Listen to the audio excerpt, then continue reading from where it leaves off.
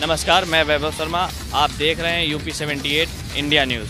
हम आए हैं चुनावी चर्चा के लिए नौबस्ता गला मंडी। आइए जानते हैं जनता से कि इस बार किसको देंगे वोट और किसकी बनेगी सरकार।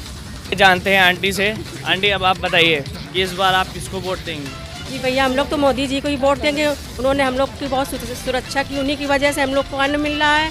योगी मोदी की तरफ़ से हम लोग उन्हीं को वोट देंगे। तो ये कहना चाहते हैं आप कि इस बार भाजपा की सरकार जी भाजपा की सरकार आएगी इस बार। बहुत बढ़िया। हम भी उसमें आप कुछ इस मामले में कुछ बोलना चाहती हैं? बस मैं कुछ नहीं बोलना बस यही बोलना है कि बस योगी की सरकार आएगी। बस उन्हीं को वही आएँगे इस बार भी। उन्होंने जो चलेगा।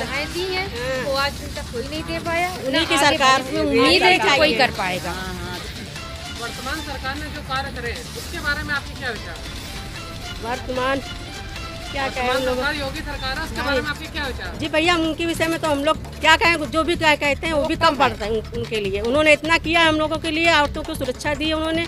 उनके राज में अब कोई कहीं कुछ नहीं सुनाई पड़ता क्योंकि जो पहले होता था उनके राज में कुछ भी नहीं है। समाजवादी पार्टी को क्यों नहीं वोट देना चाहिए? क्योंकि गुंडागर्दी। थी लड़कियों को छेड़ना ये सब था इसलिए सुनी सुनी नहीं नहीं गई है। जो योगी मोदी के जमाने में वो हम लोग हमेशा के लिए चाहेंगे कि वो हमेशा रहे। तो योगी सरकार के में भी योगी सरकार में भी लड़कियाँ छेड़ी जा रही हैं उसमें आपका क्या राय है? नहीं है। जिस तरह पहले होता था उस तरह अब नहीं हो रहा।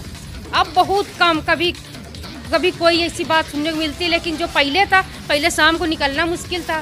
कहीं लाइट नहीं कहीं कुछ नहीं कुछ नहीं था। अब कम से कम ये है कि कम लोग हम लोग सुरक्षित निकल तो पाते हैं लड़कियाँ जाती हैं हम लोग सुरक्षित भी ये तो रहते हैं कि अगर तो कोई बात हुई तो हमारी सुनवाई है।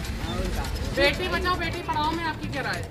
है जो बेटी बचाओ बेटी पढ़ाओ ये नारा लगा हुआ है उसमें आपकी क्या राय? है हमारी क्या राय भैया राय यही है कि ये नारा बहुत अच्छा है। बेटी को जो लोग बेटी को नहीं करते थे पहले अब बेटी को वैसे भी बेटी को मानना चाहिए पढ़ाना चाहिए बल्कि बच्चों बेटे से कम नहीं है बेटियाँ।